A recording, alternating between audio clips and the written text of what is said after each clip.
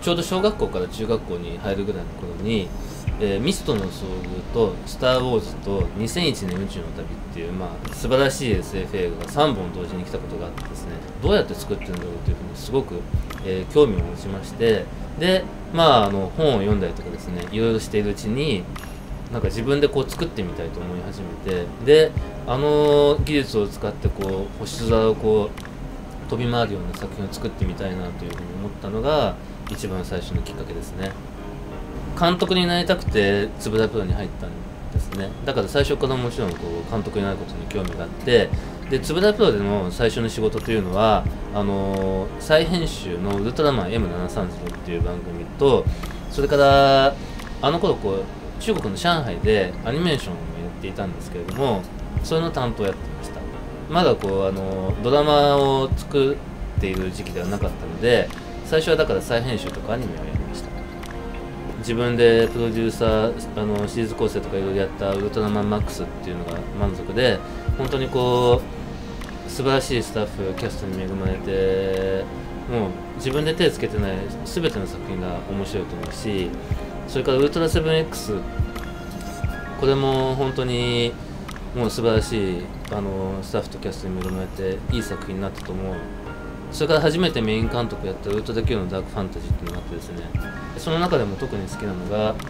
あのウルトラ Q のダークファンタジーの2365度の世界という作品ですね。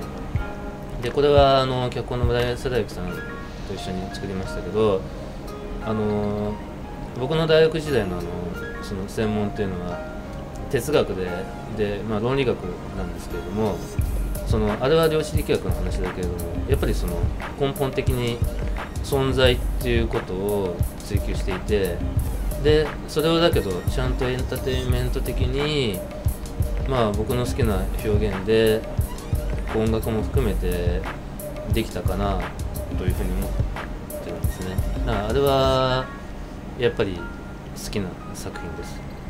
特撮は僕も得意監督として大好きなんですけれども特撮だけではダメだしそれからそのウルトラマンが対象とするものもやっぱりこう子供だけでもない大人だけでもないこうやっぱり家族でこう普通に見れる普通に見れるっていうのは実はすごい難しくてでどちらに向かってもいい顔をするっていうことでもなくやっぱりこう今こそこうなんか日本の未来に対して希望を持てるっていうものを作るべきだと思う。でそれにあたって技術的にもそれが説得力があるようなあのもう21世紀の新しい SF として成立するような構造にして作るべきかなといううに思います。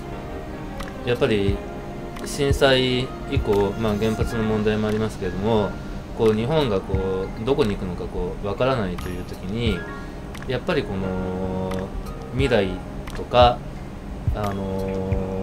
地球とか人類に対して希望を持つ作品っていうのは非常に重要だと思う。でウルトラマンはその40年以上の歴史があってで、まあ、日本人は誰でも知ってるし海外でもそこそこ知名度があるっていうキャラクターだけれどもやっぱりそれは有名だからっていうことよりもこう良きなんか作品として作られてきたっていうことが重要でで今こそ